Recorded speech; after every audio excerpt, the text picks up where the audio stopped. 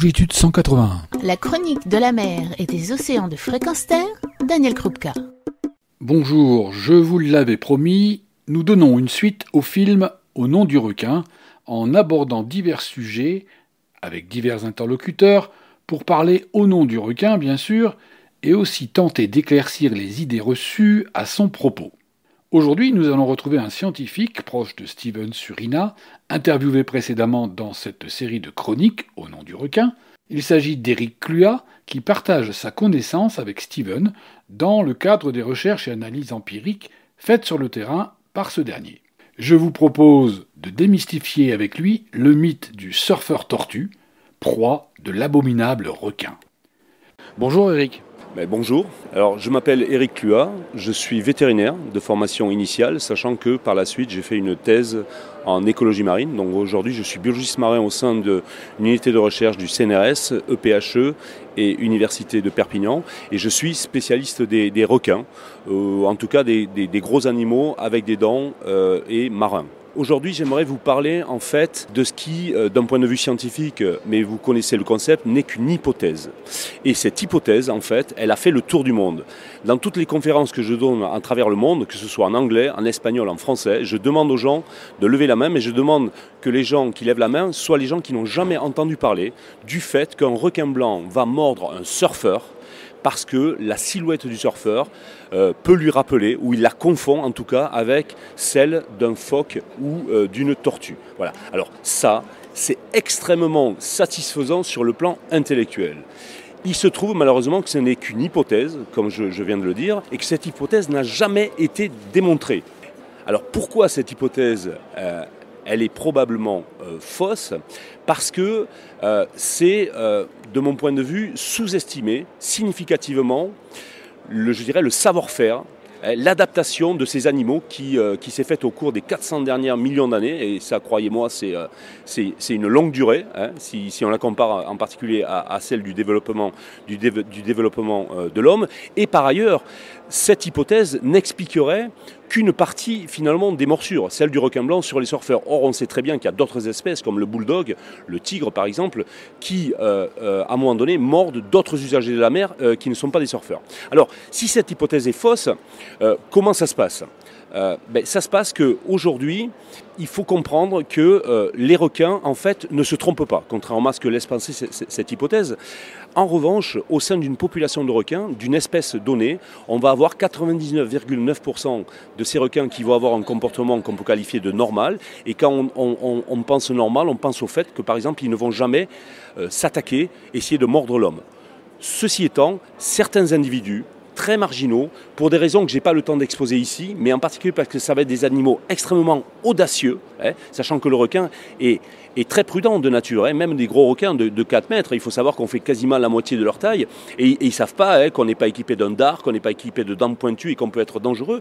Bref, ils sont extrêmement prudents. Et donc, des animaux dangereux que dans notre jargon euh, scientifique on appelle des animaux à problème, eux, à un moment donné, vont mordre l'homme. Donc oui, oui, je dis bien, il existe des morsures de prédation de ces grands prédateurs marins sur l'homme. Mais ce qu'il faut savoir, et qui est très important à mes yeux, c'est que c'est moins de 5%, moins de 5% des morsures. C'est-à-dire que dans, une année, on répertorie à peu près 100 morsures de requins dans le monde, hein, et, et on est donc à moins de 5% si vous voulez, qu'on peut qualifier de prédation. Alors après, il y a 95% d'autres types de morsures. Des morsures de compétition, des morsures de concurrence, des morsures de défense. Et quand un chasseur sous-marin tire sur un requin, mais qu'est-ce qu'il fait? Ben, il, se retourne, se retourne contre le chasseur. Quand, un chasseur ou un plongeur, involontairement, parce qu'il ne connaît pas le comportement des requins, pénètre le territoire d'un requin, ben, le requin va le mordre comme un chien mordrait quelqu'un qui pénètre dans un jardin que le, que le chien quelque part défend. Bref, si vous voulez, 95% des morsures de requins sont euh, des morsures qui relèvent quelque part, il faut, il faut quand même dessus, de la responsabilité de l'homme hein, de l'homme, soit parce qu'il fait ce qu'il ne faut pas, soit parce qu'il ne connaît pas euh, les requins. Et ça, je crois que c'est quelque chose de très important, de façon à ce que le grand public, les, gens qui ne connaissent pas ces animaux, parce qu'ils ont un rapport très lointain quelque part, quelque part à, à la mer, que euh, de, la nécessité, de dédiaboliser justement euh, ces animaux, ces animaux qui par ailleurs, on le sait, et je ne développerai pas, mais jouent un rôle critique dans les, écosystèmes marins euh, de, la planète.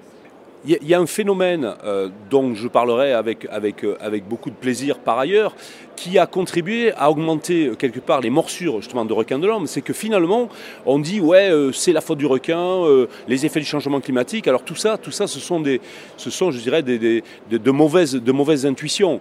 ce qu'il faut comprendre, c'est que le seul facteur qui a été démontré à ce jour d'augmentation de nos jours des morsures de requins sur l'homme, c'est que c'est l'homme qui va vers le requin.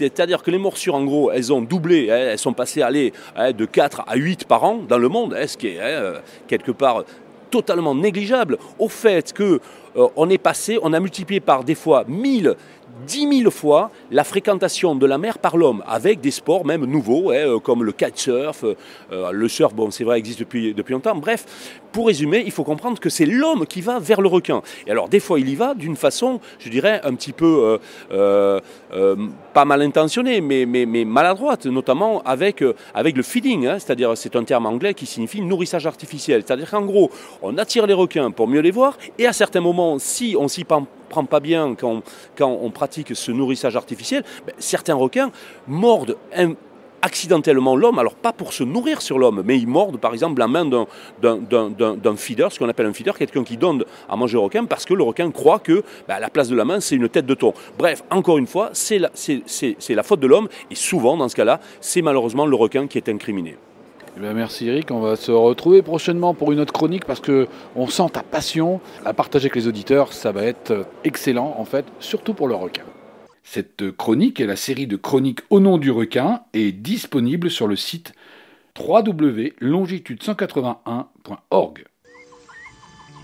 Retrouvez et podcastez cette chronique sur notre site fréquence